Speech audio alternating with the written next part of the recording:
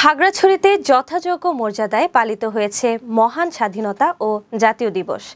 রবিবার সকাল সাড়ে পাঁচটার দিকে খাগড়াছড়ি জেলা শহরের চেঙ্গি স্কয়ারস্থ স্মৃতিস্তম্ভে দেশের জন্য আত্মোৎসর্গকারী শহীদদের প্রতি ফুল দিয়ে শ্রদ্ধা জানান ভারত প্রত্যাগত শরণার্থী বিষয়ক টাস্কফোর্সের চেয়ারম্যান কুজেন্দ্রলাল ত্রিপুরা এমপি সংরক্ষিত মহিলা আসনের সংসদ সদস্য Basanti Chakma, Khagrachhari region commander brigadier general Golam Mohiuddin Ahmed, জেলা প্রশাসক মোহাম্মদ শহীদুজ্জামান, জেলা পরিষদ চেয়ারম্যান মংসুই প্রু চৌধুরী অপু প্রমুখ।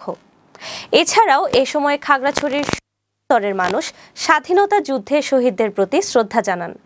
পরে সকাল সাড়ে আটটায় খাগড়াছড়ি স্টেডিয়ামে জেলার বিভিন্ন স্কুলের শিক্ষার্থীদের কুচকাওয়াজ, স্বাধীনতা যুদ্ধ বিষয়ক ডিসপ্লে প্রদর্শনী অনুষ্ঠিত হয়।